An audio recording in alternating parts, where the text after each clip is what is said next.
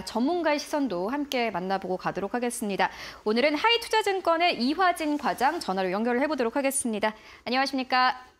네, 안녕하세요. 네, 과장님 일단 시장 상황 좋지 않습니다. 많은 분들이 좀 속상하실 것 같은데 그런데 또 악재가 없었던 시장은 지금까지 없었습니다. 오늘 시장 좀 특징을 잡고 계신다면 어떤 것들 있을까요? 워낙 뭐 앞에 많은 이야기를 했었는데 음, 음. 네, 어떻게 보고 계십니까? 일단은 뭐 오늘 뭐 주요 세 가지가 파월 이제 시- 어, 의장에 대한 발언도 중요할 것 같고요.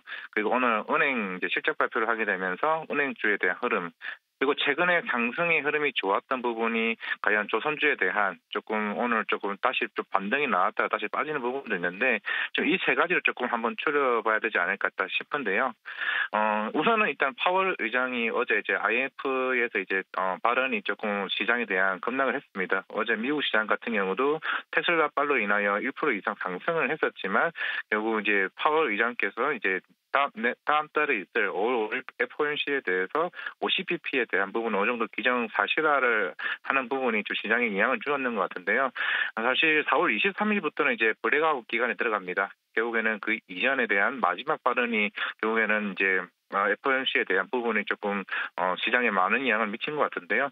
사실 그에 대한 부분보다는 좀 발언 내용 중에 어, 공급에 대한 공급을 막을 수 없다는 부분에 대해서 발언을 했었고 결국에는 이 수요에 대한 부분을 이제는 어떻게 줄일 방법에 대한 말씀을 드렸습니다. 결국에 그에 대한 부분이 좀 긴축 정책이 좀 강화시킬 수밖에 없다는 발언이 시장에 어제 미국 시장 같은 경우에는 끊임없이 빠지는 상황이 나왔던 부분이 결국 오늘 우리나라 시장에 좀 영향을 좀 많이 미쳤던 것 같고 요.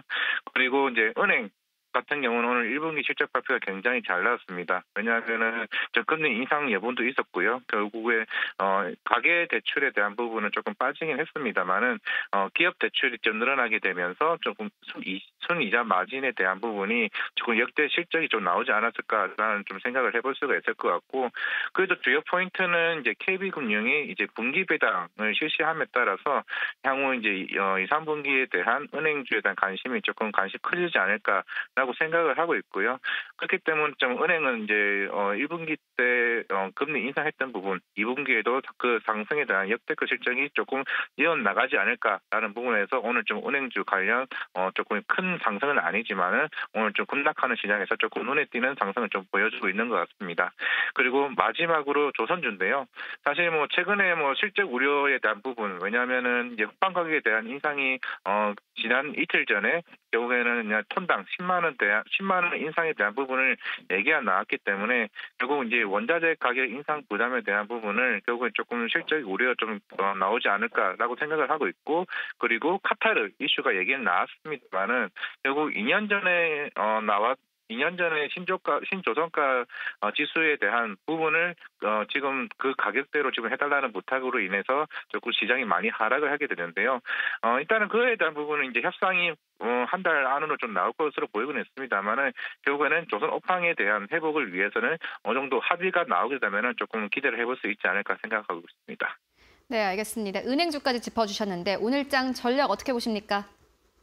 어, 사실 뭐 넷플릭스 이후부터 지금 실적 시즌이 이제 나오고는 있습니다만은 결국 지금 연준의 심리는 어느 정도 일시적인 좀 현상으로 봐야 될 것 같습니다.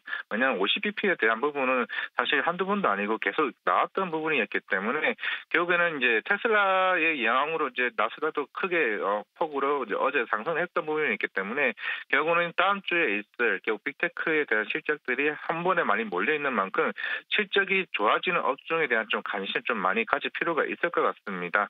물론 이제 1분기 같은 경우에는 이제 러시아 우크라이나 사태로 인해서 어, 가격 전이가 가능한 업종들에 대한 특히 뭐 음식료나 이런 부분들이 결국에는 좀 이번 1분기 실적이 좀 굉장히 좋아지지 않을까 싶고요.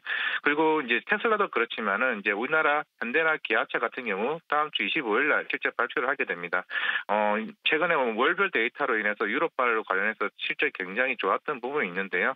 왜냐하면은 독일의 이제 유럽차 같은 경우는 어, 공장이 동유럽 쪽에 있는 반면에 한국 예, 어, 현대차나 기아차 같은 경우는 어, 체코 쪽에 공장이 있음으로 인해서 약간 반사 이익에 대한 부분이 결국 1분 1분기 실적으로 인하여 좀 호재성으로 좀 발휘할 수 있지 않을까 싶습니다. 어느 정도 기아도 오늘 좀 약간 어, 약간 시작을 했던 부분이 어쩌, 어떻게 보면 다음 주 실적에 대한 기대가 조금 영향을 좀 미치지 않을까 라고 생각을 하고 있기 때문에 어 사실 뭐 바- 반도체나 이런 부분보다는 좀 자동차 실적에 대한 기대가 다음 주에 조금 영향을 어, 테슬라 이후의 영향을 좀 이어가지 않을까 싶 고요.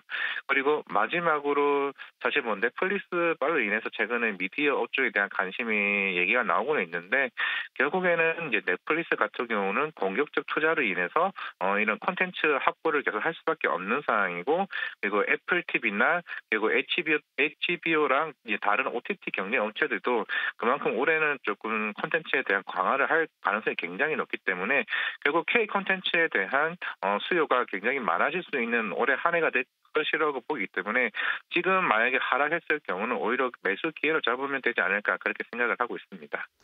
네, 알겠습니다. 지금까지 이화진 과장과 함께했습니다. 고맙습니다. 네, 감사합니다. 네, 과장님께서는 조금 다른 이야기를 해주셨습니다. 많은 분들이 뭐 실적에 대한 이야기를 계속해서 해주고 계신데 이화진 과장님께서는 사실 지금 장에서 별로 좋지 않은 현대차와 기아가 오히려 다음 주에 힘을 낼 수도 있다. 실적에 따라서 다시 한번 수급 들어올 수도 있으니까 이런 부분들 체크를 해보라라는 투자 의견 전해주셨습니다.